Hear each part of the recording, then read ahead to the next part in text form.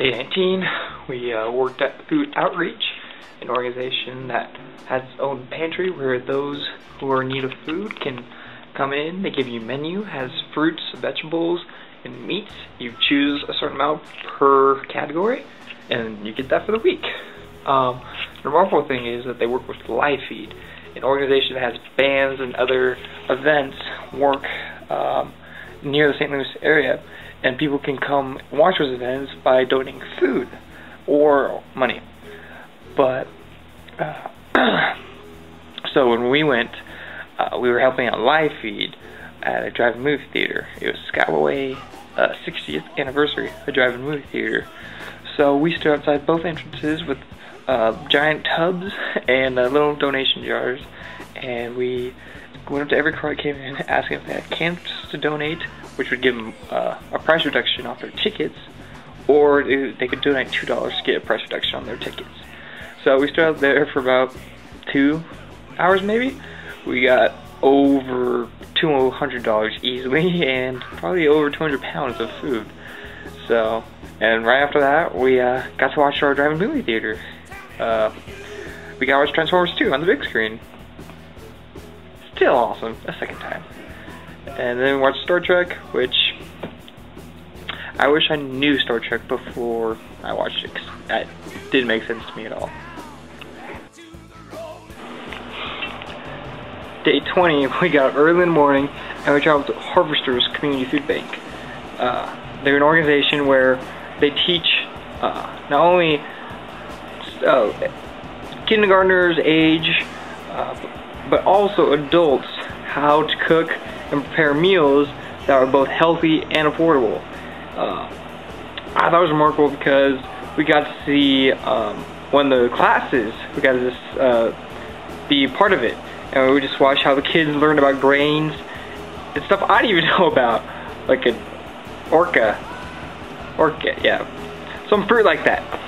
But the point was though that it addressed kids, you know, the issue of eating healthy, how to eat healthy, whether they can cook to prepare to make themselves, you know, live a healthy lifestyle. And it was awesome. After that, we did a long, long, long drive from Kansas City to Denver, Colorado. There's not much at all on the drive there. So I, I slept. I woke up, we were in Colorado, it was, it was kind of like Twilight Zone. But uh, we were end up in a Hilton here. Best hotel we've been to so far, yeah, by far. Oh my gosh. They gave us gift baskets, they even gave us a banner saying welcome Oregon State. So, it's been really awesome. The Homewood Suites by Hilton. Good? Definitely that's good.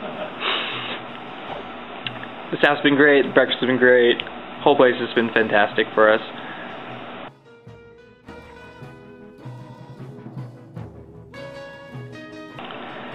Day 21. Uh, today was, oh, we took a trip to Same Cafe. Same Cafe has meals prepared where there is no minimum or maximum price on the meals. So you can donate however much you can or feel like is appropriate for the meal. Uh, so we ate there for lunch, and it was actually really good. I had some pizza and chicken soup, and it was phenomenal. And just the program itself, just I think it's extraordinary. After that, we went to Operation Frontline, uh, the Colorado division, where we got um, where the organization has their own uh, kitchen sets prepared that they go to the communities to show people how to cook.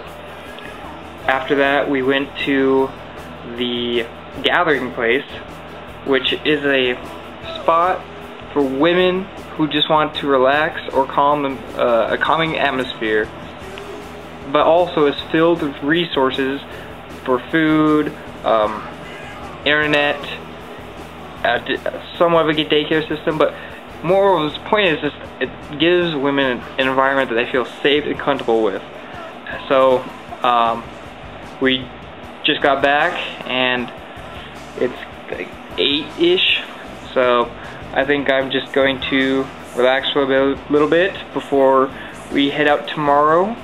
We are going to check out um, the Alpine slides, which I've never been to, so excited for that.